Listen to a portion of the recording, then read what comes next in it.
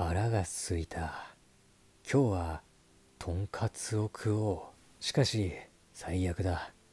ソースも醤油もない。なぜいつもないんだ。せっかくのとんかつをこのまま食うのも味気ない。何かいいものはないか。そうだ。俺の友達が言っていた。蜂蜜が合うんじゃないか。これに決めた。よし早速かけていこう。しかし綺麗だな。透き通っている。まるで沖縄の海だな。そして今とんかつの衣に蜂蜜がリングイン。さあ両者の激しい戦いが今始まらない。よく見るととんかつの衣が蜂蜜を吸収している。まるでドラゴンボールの魔人ブーだな。驚いた。よし完成だ。いただきます。匂いも見た目も悪くない。問題は味だな。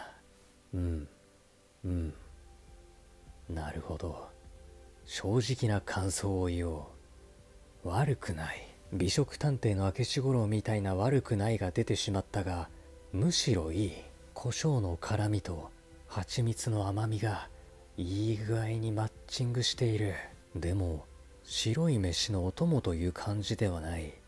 むしろ3時のおやつという感覚だ。まさかとんかつがおやつになるとは思わなかったが興味のある方は試してみても悪くないかもしれない。それじゃあ次回の蜂蜜飯でまた会おう。